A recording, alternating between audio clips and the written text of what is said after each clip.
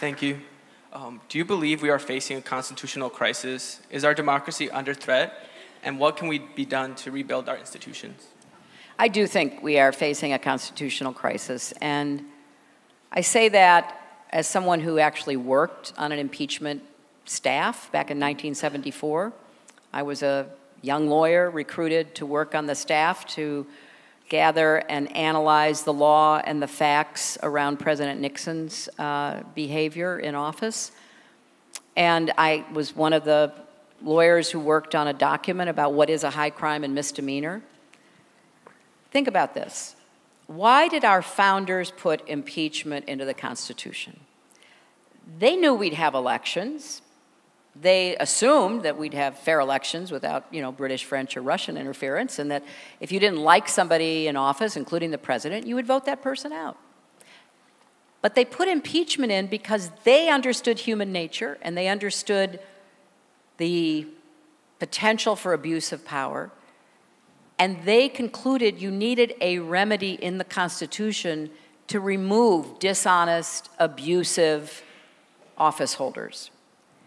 So the impeachment power is given uh, to the House to conduct investigations when there is evidence that a president in office has engaged in behavior that amounts to a high crime or misdemeanor against our nation that could cause a series of um, consequences that would undermine um, our rule of law, our separation of powers, our Constitution. So, I think that um, Speaker Pelosi was correct not to give in to pressure to impeach about everything that people disagree with Trump about.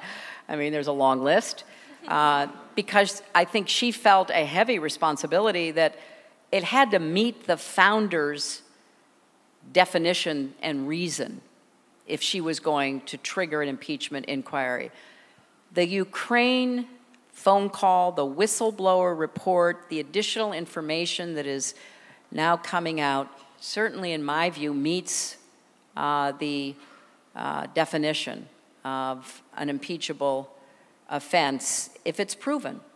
And so I believe you have to have a very thorough, thoughtful, deliberative process. When I was on the impeachment staff, I mean, we didn't talk to the press, we didn't leak anything because we knew this was a very heavy responsibility. And I think that's what Nancy Pelosi understands, and that's why they're trying to gather evidence. Now, if you look back at the Nixon impeachment, abuse of power, obstruction of justice, contempt of Congress were the major reasons under which there were specific acts.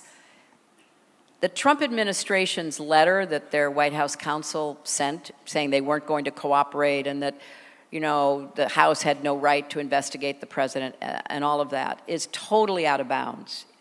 If you were to believe that no president could be investigated, for wrongdoing while in office, if you were to believe that the president was above the law, we would lose our democracy right then. We would be on the road to tyranny. And, you know, if, if, if he wants to contest the evidence, if he wants to present contrary evidence to the House, that is his right. You know, that, I mean, the Nixon administration desperately tried to present evidence, but the problem was, just like with the transcript of this phone call and the whistleblower con, uh, complaint, there was real evidence about what President Nixon and his staff were doing. They were obstructing justice, they were abusing power. And the tapes just sealed the deal. So remember what happened in 1974. And one of the people I profile in here is Barbara Jordan, who gave one of the greatest speeches when she spoke about why she was going to vote in favor of the articles of impeachment about defending the Constitution. So the articles were presented to the House committee, and four Republicans joined in voting for those articles of impeachment because the evidence was compelling.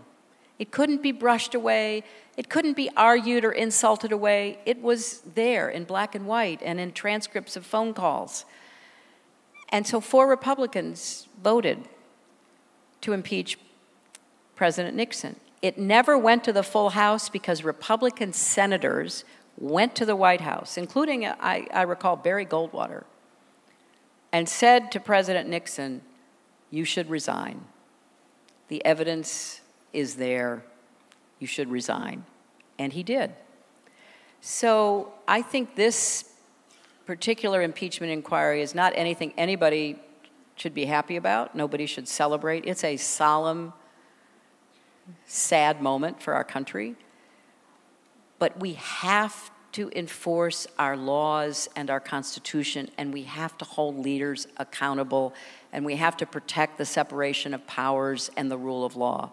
So I will not prejudge it, but from my own experience and looking at it, uh, it certainly seems to meet the definition of impeachment that the founders had in mind.